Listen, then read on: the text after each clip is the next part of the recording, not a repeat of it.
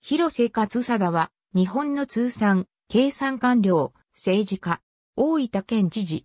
中央省庁再編時に通商産業省で事務次官を務めており、最後の通商産業事務次官かつ、初代経済産業事務次官であった。日田市長、郵政大臣を歴任した広瀬正夫を父に持つ。大分県日田市生まれ。東京大学法学部第二類卒業後、1966年通商産業省に入省。石炭極端成果に配属。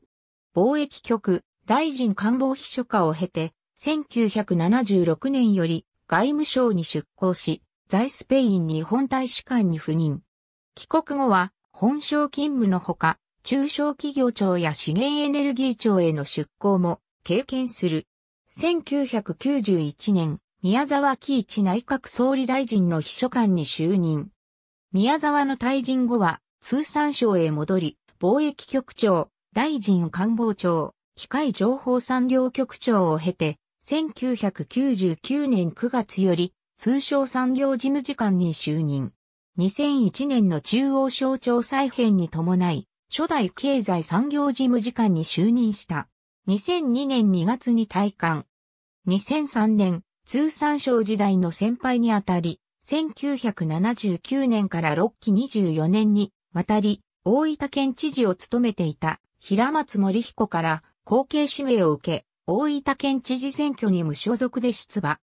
当初、現職の平松知事の後継指名に加え、地元経済界や業界団体の支援も受けていたため、圧勝が予想されていたが、無党派を標榜し、平松県政からの転換を訴えたキラ州氏の猛追を受けて苦戦を強いられ、3万秒弱の僅差でキラを振り切って初当選した。2007年、2011年の大分県知事選では、日本共産党以外の政党は候補者を擁立せず、広瀬自身も表立って政党の支援は受けず、対立候補に大差をつけて再選された。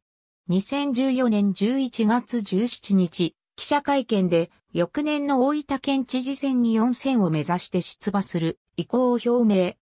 翌年1月、大分市長の釘宮岩尾が、広瀬の4選阻止、平松前知事の時代から36年続いた官僚出身知事のトップダウン政治からの転換を掲げて知事選への出馬を表明した。自民、公明両党の支援を受ける広瀬に対し、釘宮はかつて国会議員時代に所属していた民主党の支援を受けたが、社会民主党名誉党首で、大ブ一区が地盤だった村山富一元首相や連合参加の労働組合の一部は、県民党を掲げる広瀬を支持したため、反自民層の支持は分裂した。